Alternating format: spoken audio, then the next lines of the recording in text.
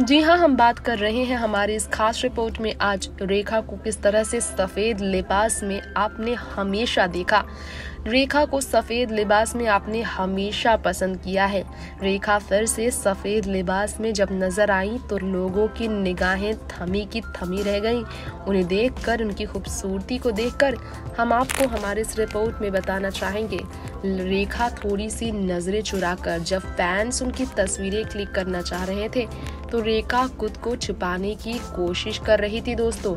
दरअसल रेखा की ब्यूटी से ज़्यादा लोगों की नज़र उनके बुढ़ापे पर थी।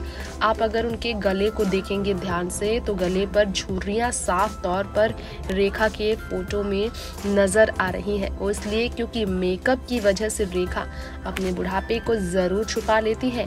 लेकिन उम्र के इस अड़सठ साल की उम्र के पड़ाव में रेखा की खूबसूरती मेकअप से ज़रूर ढक जाती है, उनके बुढ़ापे को ढक देती है, लेकिन इसके बावजूद साफ़ तौर पर नज़र आता है रेखा का बुढ़ापा।